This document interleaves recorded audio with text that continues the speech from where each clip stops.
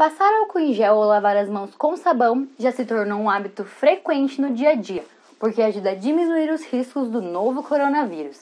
Mas esses recursos podem não estar disponíveis para toda a população. Um projeto de design em parceria entre as universidades federais do Paraná, do Ceará e do Cariri trouxe soluções inovadoras para ajudar a sociedade nesse quesito. Foram desenvolvidos quatro produtos que solucionaram desafios causados pela pandemia. O dispenser móvel, idealizado por um dos grupos, foi escolhido pela empresa OUS para produção e distribuição para crianças e professores da rede pública do ensino de Brejo Santo, no Ceará. A atividade de aprendizado integradora teve a participação de quatro equipes que trabalharam a partir de um tema geral que foi definido coletivamente, que foi o desenvolvimento de equipamentos de proteção individual para crianças. A partir desse grande tema, cada equipe realizou pesquisas e levantamentos de forma independente. O estudo foi feito em cima da, dos materiais e tecnologias que a gente desenvolveu durante todos os nossos anos de mercado e que tinha disponível. Então a ideia era usar tecnologias e materiais vindo do calçado, da indústria calçadista, para fazer alguma coisa. A pulseira, batizada pela empresa de Gomo, é idealizada especialmente para crianças e tem caráter recreativo, além de ser utilizada para a higienização das mãos. É um produto que vai ficar fixo ao pulso da criança, de rápido acesso e com certeza tem um apelo também é, nessa prática do uso que é um pouco lúdico, né? Você tem ali um, um quase relógio, um quase smart band, né? Que serve como um meio de higienizar suas mãos enquanto estamos vivendo este momento da pandemia e quem sabe, né? Também depois, porque a gente sabe que é sempre importante ter essa cultura do lavar as mãos depois de ter contato com diferentes superfícies. A goma foi produzida a partir de uma técnica de injeção utilizada em calçados, e o material principal é o TPU, um termoplástico muito resistente. Gabriela Duarte, pesquisadora da UFPR que fez o contato entre o projeto e a empresa, explica que, além das pulseiras, alunos e educadores receberam treinamento para o descarte correto do produto.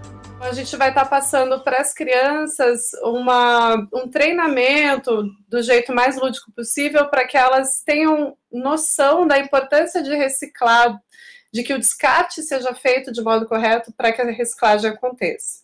Então, ao mesmo tempo, mostrar que por trás dessa reciclagem existem catadores, existe todo um sistema que também acaba fomentando a economia local. O projeto contou com a participação de alunos do Paraná e do Ceará, que realizaram as atividades inteiramente online e buscaram referências lúdicas para ajudar na interação das crianças com a Gomo. A gente quis implementar alguma coisa que deixasse um pouco mais divertido, então a gente chegou implementando essa questão de você conseguir trocar cor com um amiguinho, com um coleguinha. Se é uma pulseira que você não pode usar só como pulseira, você consegue usar como colar, como qualquer outra coisa que você consiga aprender com um barbantezinho. Então foi mais ou menos assim que surgiu essa ideia. Considerando as mudanças que, que, o fazer design sofreu desde que ele nasceu, lá na Revolução Industrial até agora, é, focar no social, focar em projetos para pessoas e focar principalmente nas gerações futuras é o que o design pode oferecer de melhor.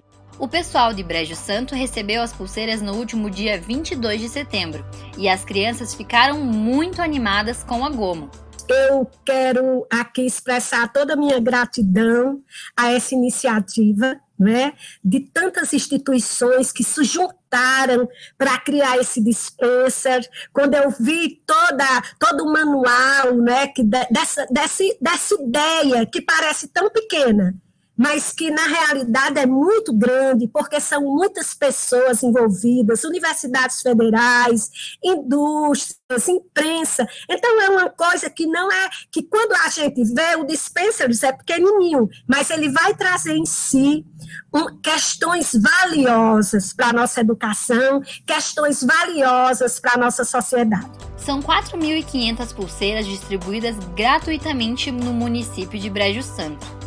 O próximo passo é a comercialização do produto.